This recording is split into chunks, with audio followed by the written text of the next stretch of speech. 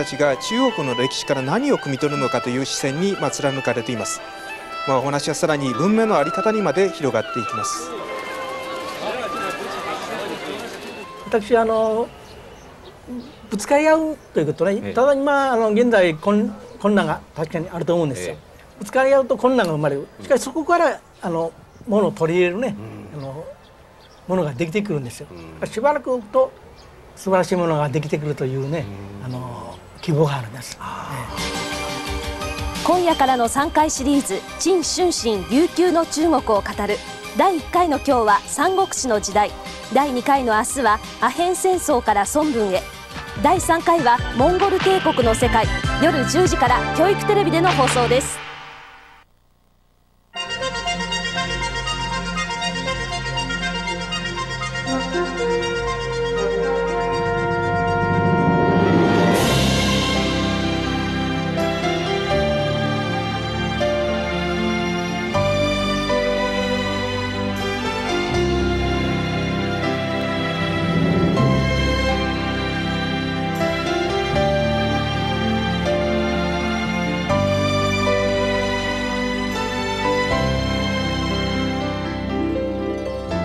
大自然。そこにはいつも生き物たちが織りなす不思議と感動があります。さあ大自然の真っ只中へ生き物地球気候新しい出会いを求めてとっておきの地球の旅の始まりです。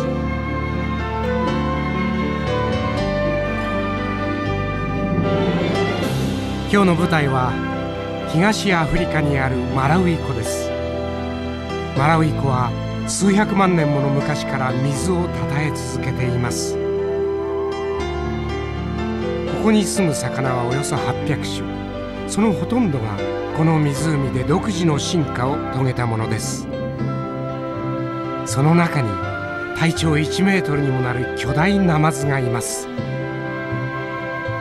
このナマズは魚には珍しく子育てをします。巣を作り親が稚魚に餌を与えて育てるんです。東アフリカのマラウイ湖で巨大ナマズのユニークな子育てを見つめました。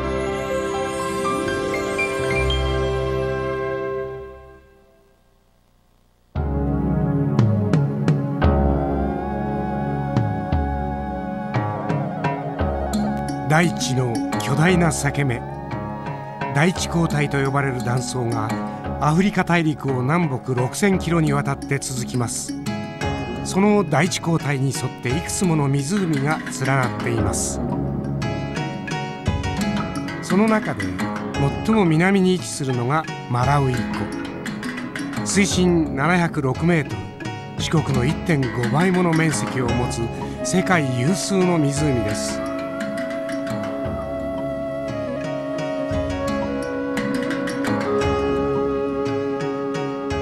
マラウイ湖は数百万年も前にできた世界でも珍しい湖です。大地交代が今でも1年に数ミリずつ広がっているため流れ込む土砂で埋まることなく水をたたえ続けています。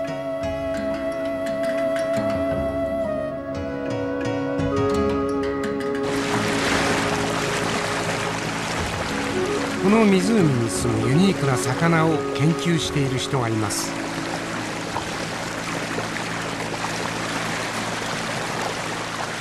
国際協力事業団派遣専門家の佐藤哲さんです。マラウイ人の研究者デイビッド・ムアフリルアさんと共に巨大ナマズの暮らしぶりを調べています。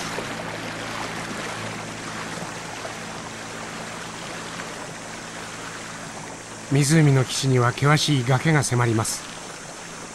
大地の裂け目に水をたたえるマラウイ湖では切り立った山が直接湖に落ち込んでいるんです。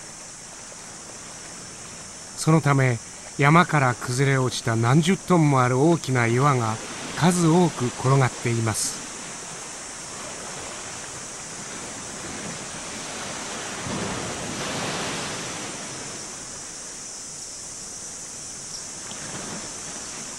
この岩は水の中で魚たちの絶好の隠れ家になります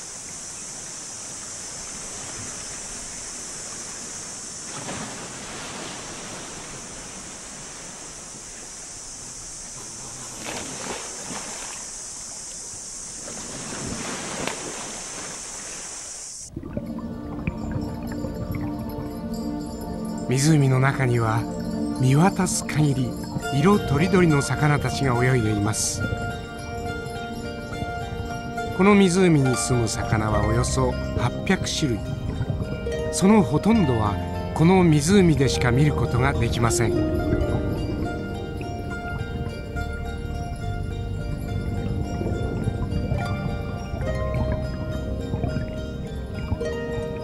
最も多く見られるのはカワスズメと呼ばれる魚たちです。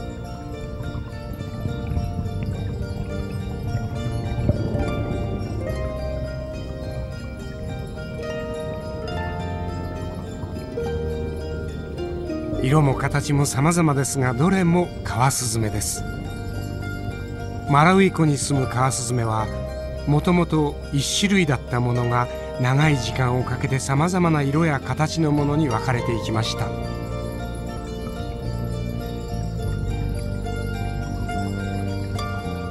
このカワスズメをはじめとしてマラウイ湖は世界で最も多くの種類の魚が住む湖と言われています。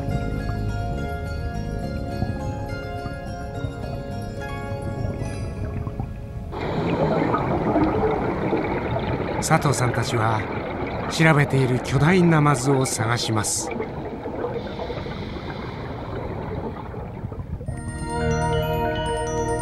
いました。体長1メートル。この巨大ナマズはカンパンゴと呼ばれています。カンパンゴもマラウイ湖周辺で独自の進化を遂げたナマズです。口の周りにはナマズの特徴である長いヒゲが8本生えていますが日本のナマズとは随分イメージが違います。ずんぐりとした体ではなくサメのような流線形の体型をしています。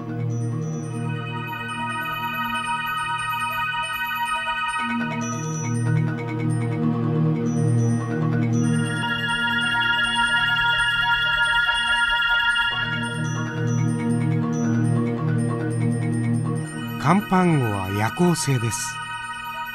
昼間はあまり活発には動きません。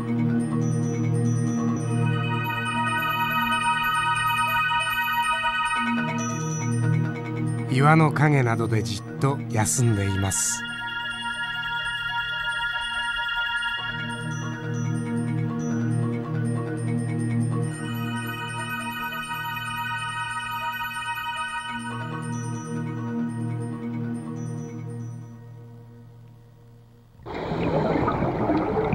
佐藤さんたちが甲板後の調査を始めたのは11月。南半球にあるマラウイが本格的な夏を迎える季節です。夏になり水温が高くなると甲板後は繁殖を始めます。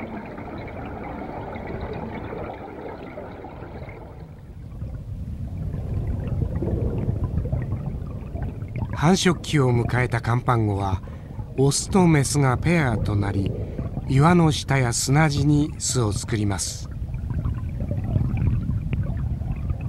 口を使って砂をかき出し巣穴を掘っていきます。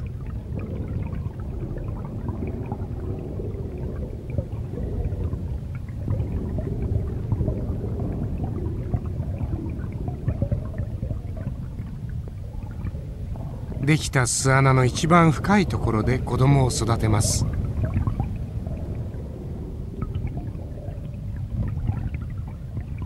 メスがやってきました。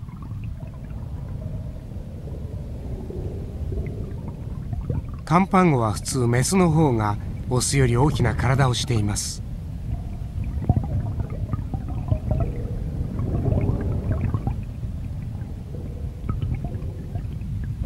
オスが巣の中メスが外側にいて巣を守ります。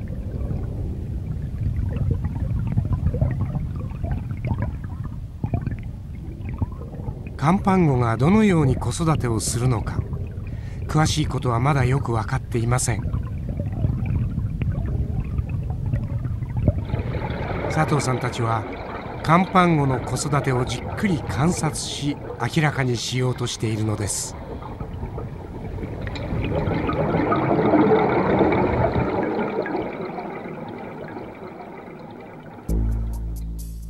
奥を見るとオスの体の下に黒い塊が動いています。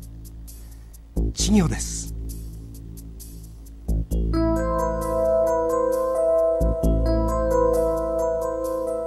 およそ2センチ孵化してから1週間ほど経っています。まだ自由に泳ぎ回ることはできません。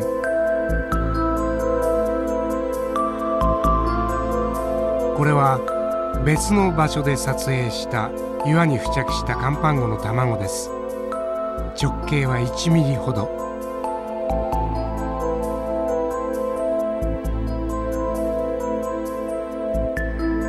孵化したばかりの稚魚がいます。2日もすると半透明の体は黒くなります。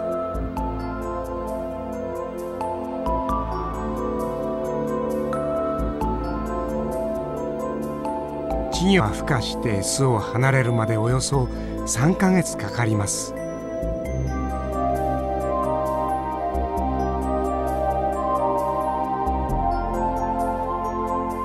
その間オスとメスは巣を守り稚魚を育てるのです。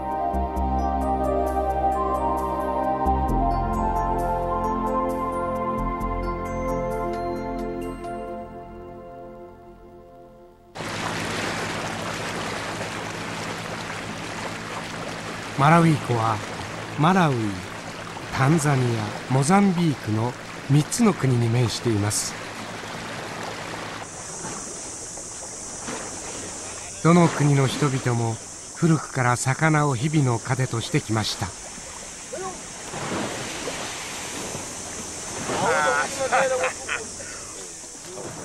これはウタカと呼ばれる魚。沖合で取れる小型のカワスズメの総称です。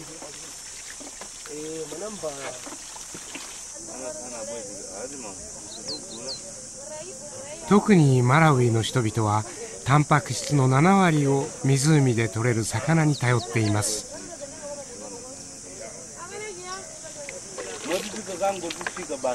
取れた魚はそのまま調理もしますが大半は干して保存食にします。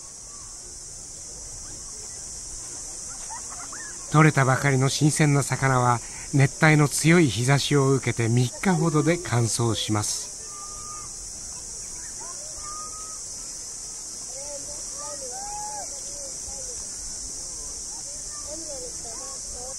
干した魚は数百キロ離れた内陸の町にも運ばれます。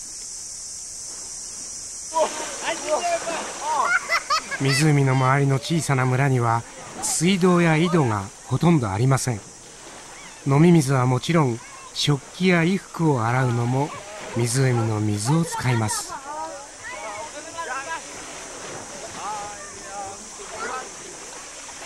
マラウイ湖は人々の暮らしと強いつながりを持っているのです。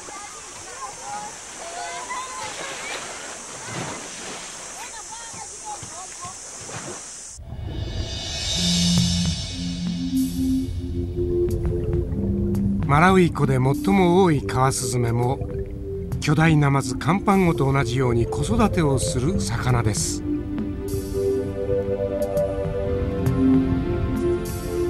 その子育ての方法が変わっています。よく見ると口の下が大きく膨らんでいます。実は口の中に卵や稚魚を入れて子育てをするんです。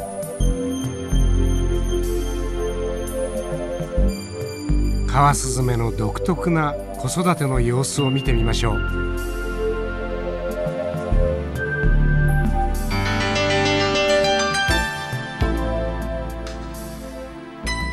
青い色が鮮やかなカワスズメがいます。これはオス。繁殖期を迎えると体の色が鮮やかな青に変わります。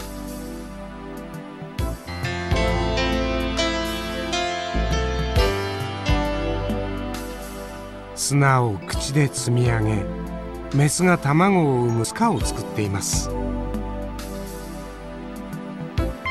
地味な色のカワスズメが近づいてきました。これがメスです。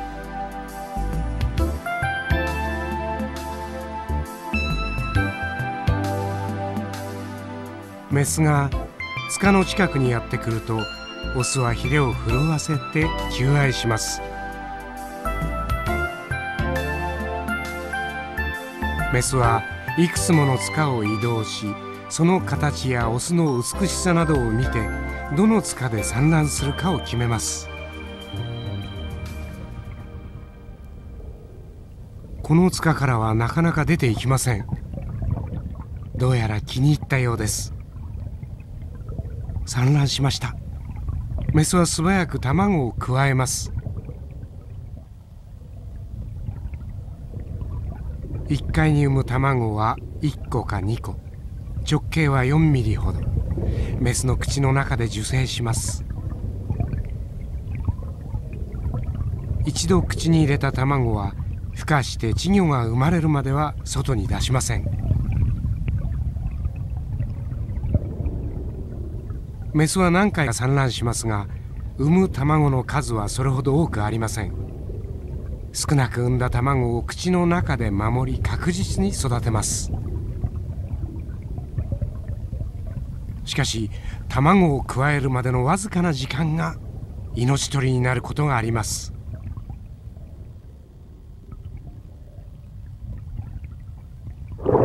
突然塚の中に魚が飛び込んできました。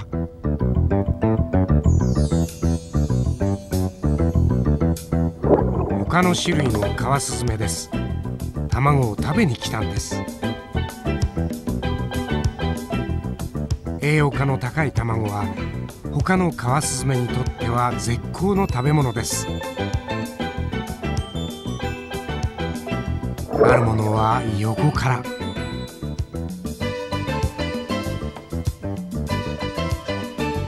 たあるものは上からと卵めがけて塚に飛び込んできます。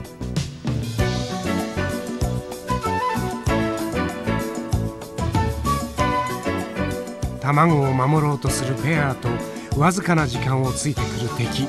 一瞬の攻防が繰り返されます。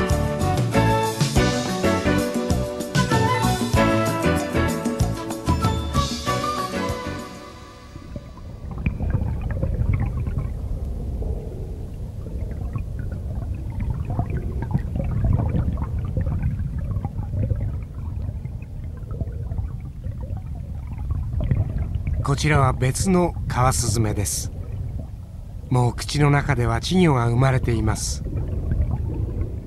まもなく稚魚を外に出す時期です。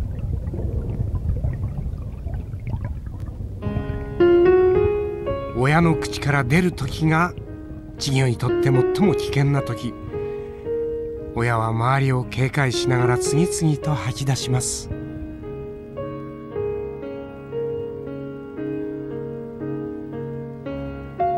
このカワスズメは実に100匹近い稚魚をくわえていました。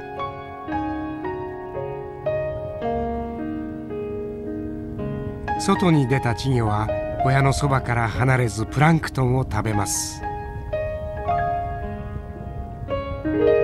しかし安心して食べてはいられません。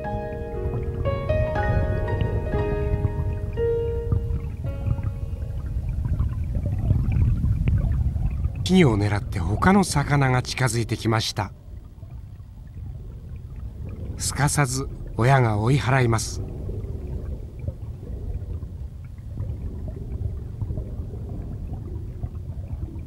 しかし親が油断した隙に再び飛び込んできました。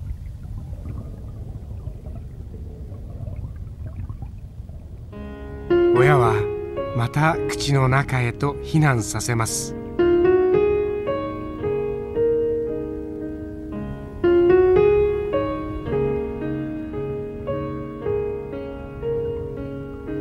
稚魚が独り立ちするまで親にとっては気の抜けない日々が続きます。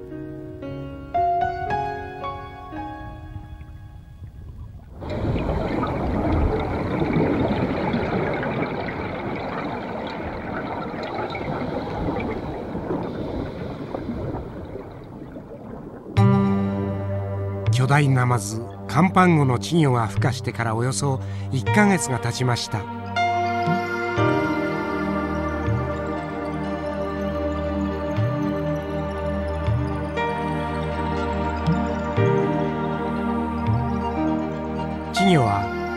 4センチほどに成長しています。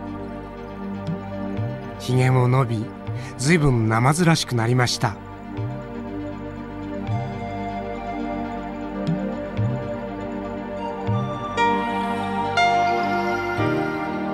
この時期巣の周りにはさまざまなカワスズメが集まってきます。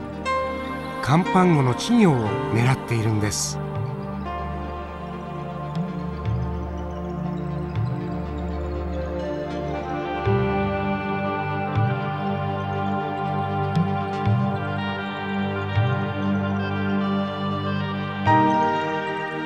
かし巣の周りでは大きなメスが稚魚のすぐ上ではオスが守っているためなかなか近づくことはできません。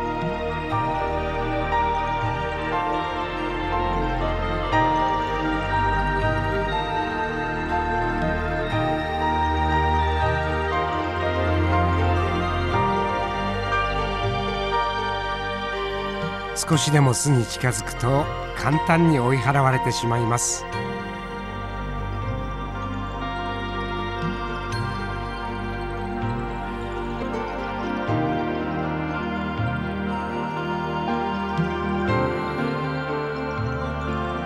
カワスズメたちは次々に諦めて去っていきます。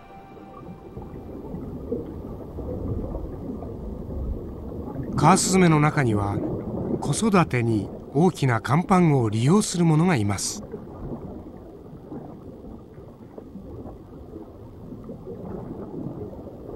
口の中に稚魚をくわえたカワスズメが甲板魚の巣に近づいてきました。一体何をしようというんでしょうか。実はこのカワスズメはカンパンゴの巣に我が子を預けに来ているんです。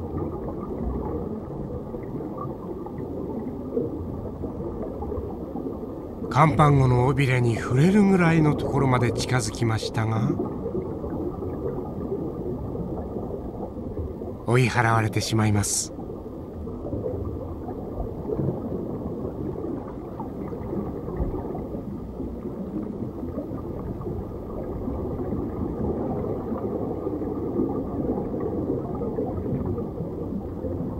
それでも諦めません。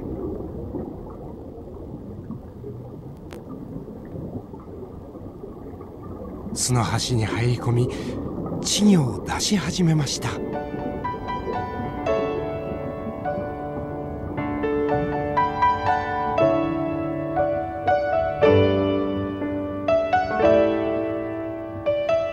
稚魚たちは一目散に甲板魚の下へと泳いでいきます。そこが安全な場所だと知っているんです。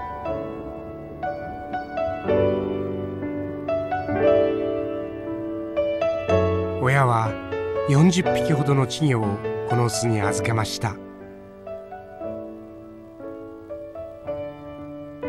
カワスズメの稚魚は甲板魚の近くにいることで外敵に襲われることなく安心して餌を食べ成長することができるのです。一方でこのことは甲板魚にとってもメリットがあります。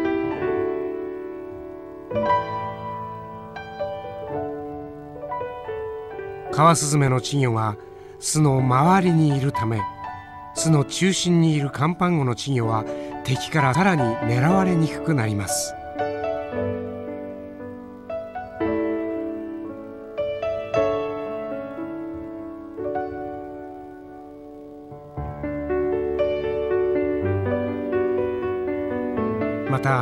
稚魚を預けたカワスズメの親が近くにいて敵を追い払ってくれます。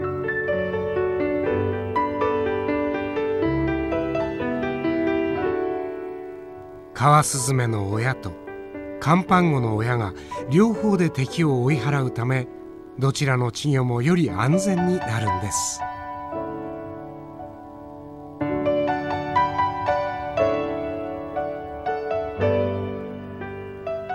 した違う種類の魚が子育てで互いに利益を得るのは大変珍しいことです。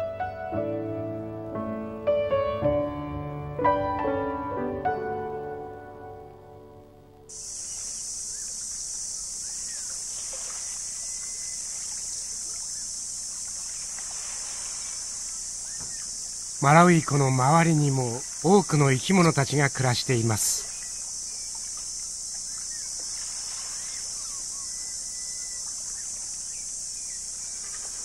その多くは湖の魚を糧にしています。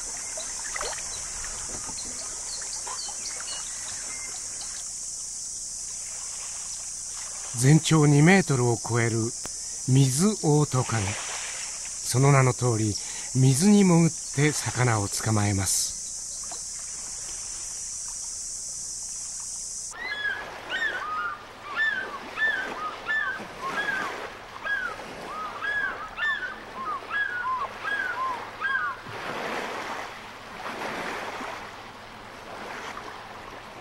翼を広げると1.5メートルにもなる三色海ワシ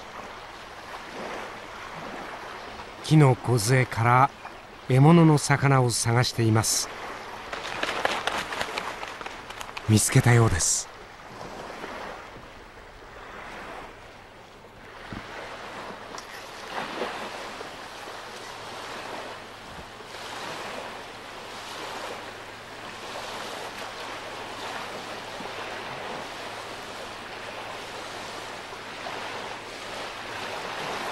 はるか向こうの水面に浮かんだ魚を捕まえました。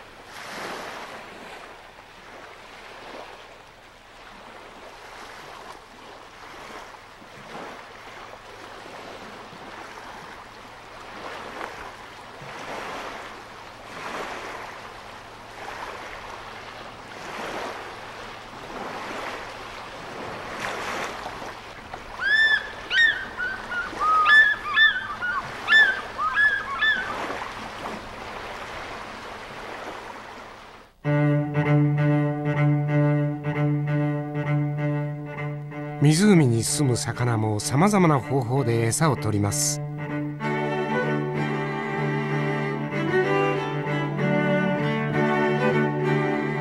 岩場に住む多くのカワスズメは岩に生える藻を食べます。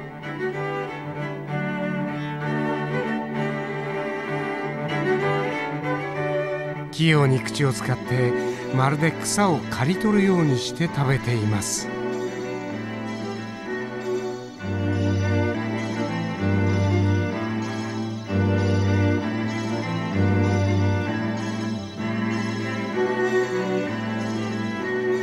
湖の浅瀬にある岩には熱帯の強い日差しが差し込み大量の藻が成長するのです。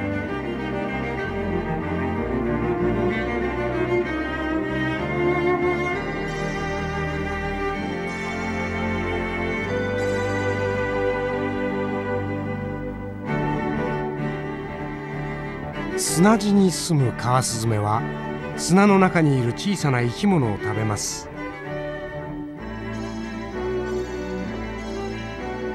砂ごと口に入れエラでより分けて食べるんです。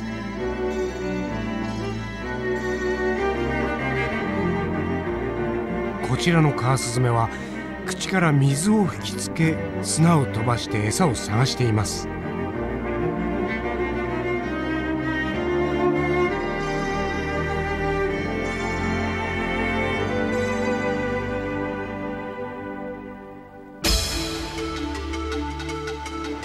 他の魚を食べる肉食の魚もいます。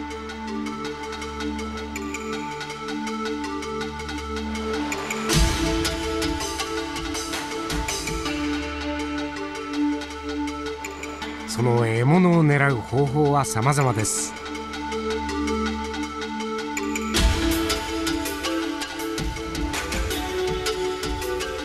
このカワスズメは岩の隙間を覗き込んでいます。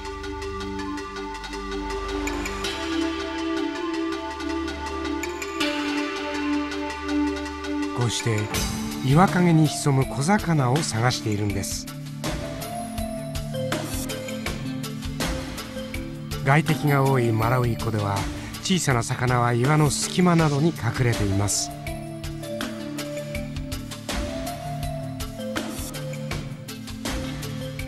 獲物を見つけたようです。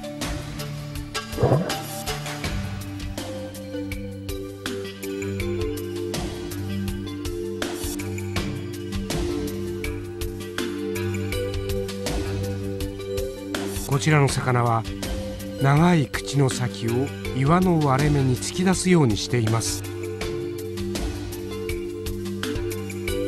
長い口で隠れている小魚を吸い込むんです。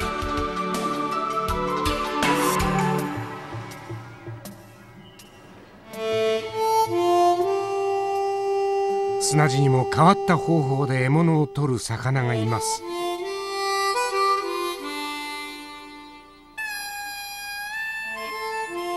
このカワスズメ死んでいるんでしょうか？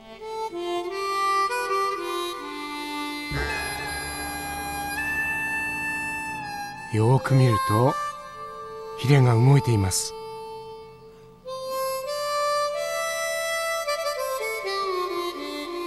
実は死んでいるように見せかけてつつきに来た小魚を逆に捕まえて食べるんです。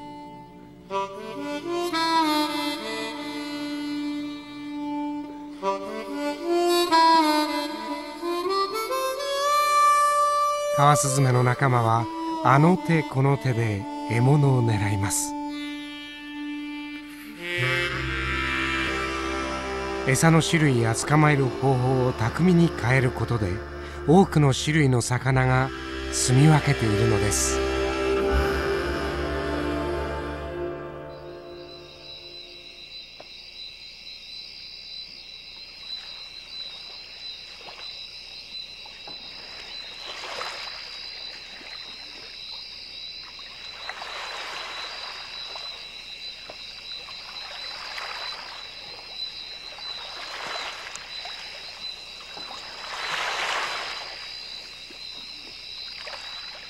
の光がない新月の夜湖に明かりを灯した船がたくさん出ます。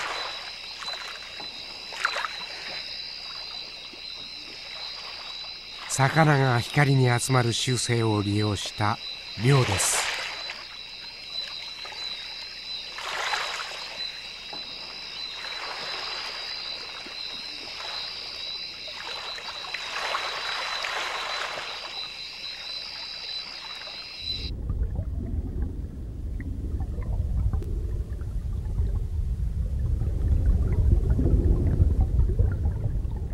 夜の固定は昼間とは一変します。動いている生き物はほとんどいません。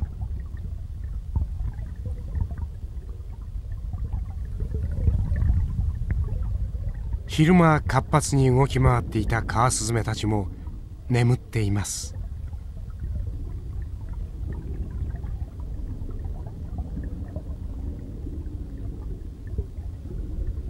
しかし安心して眠ってばかりもいられません。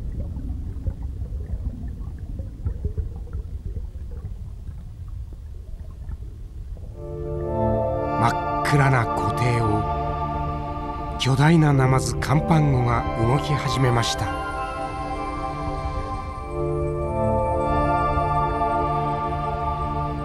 夜行性のカンパンゴは眠っている魚を捕まえるんです。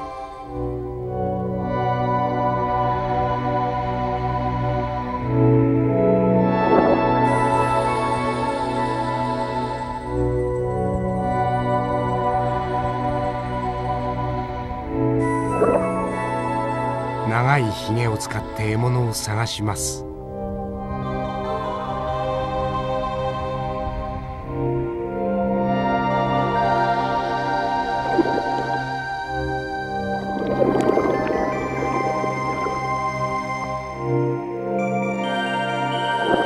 ひげが獲物に触れると一気に飲み込みます。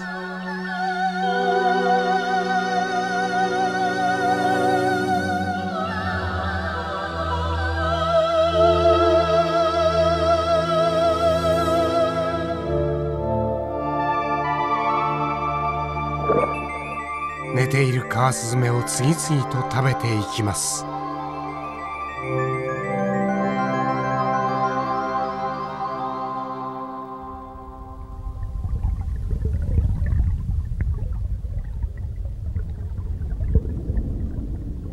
カンパンゴの稚魚が孵化してからおよそ2ヶ月が経ちました。巣ではオスが一匹で稚魚を守っています。この頃になると稚魚は外敵に襲われる危険が少なくなります。メスは巣を離れ獲物を探しているのでしょう。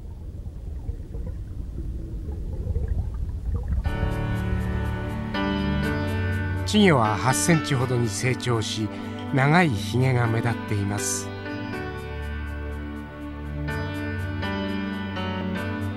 随分活動的になり行動範囲も広がっています。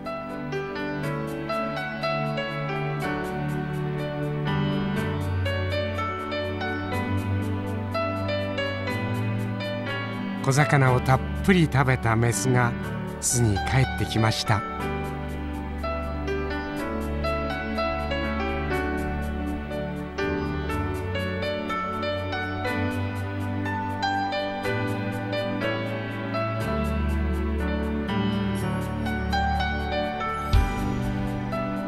メスが帰ってくると稚魚の動きが急に慌ただしくなりました。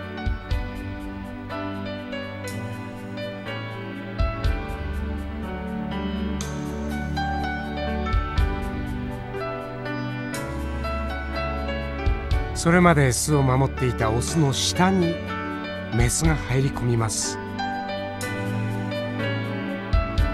稚魚はメスのお腹の下に集まってきましたそして激しくつつき始めます一体何が起こったんでしょう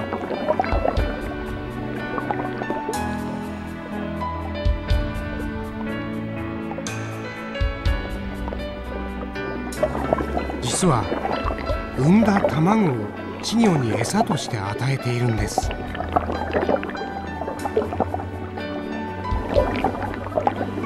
稚魚は我先に卵を食べようとメスのお腹をつつきます。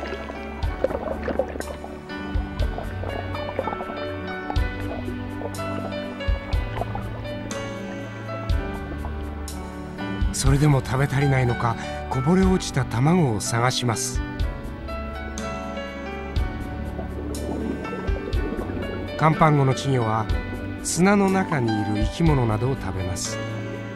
巣から出ることのできないこの時期食べられる餌が限られているためメスが産む卵を栄養にして育っていくのです。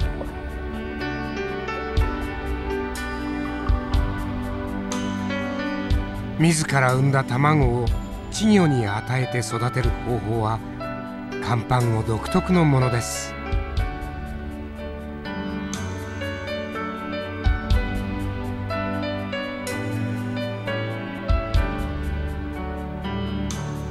稚魚を守りながらしかもできるだけ早く成長させるために身につけた方法だと考えられています。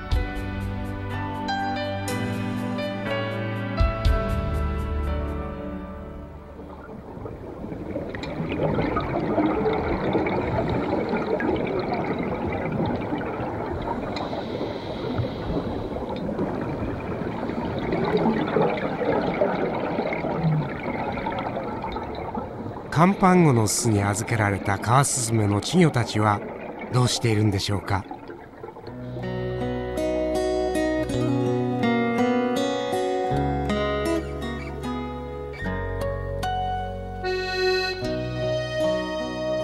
稚魚たちはカンパンゴに守られて3センチほどに成長しています。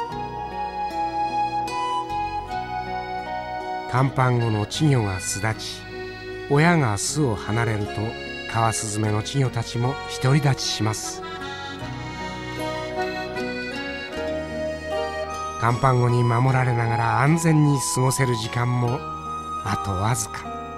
それまでにたくさんの餌を食べ少しでも大きくなって独り立ちの時に備えます。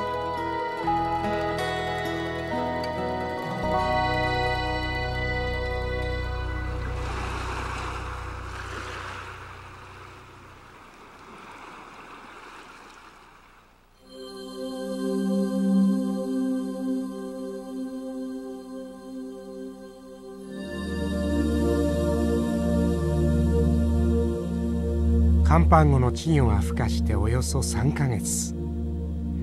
そろそろ巣立ちの時期を迎えています。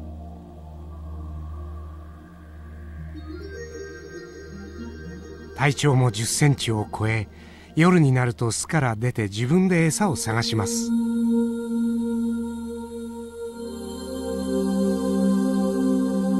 長いひげで湖底を探りユスリカの幼虫を食べています。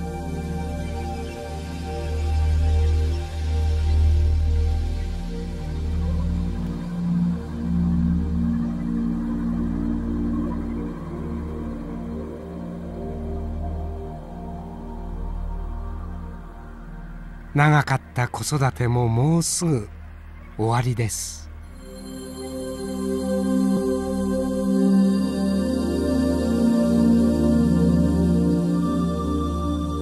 まもなく稚魚たちは一匹また一匹としっかりと守ってくれた親と別れて広い湖の真っ只中へと旅立っていきます。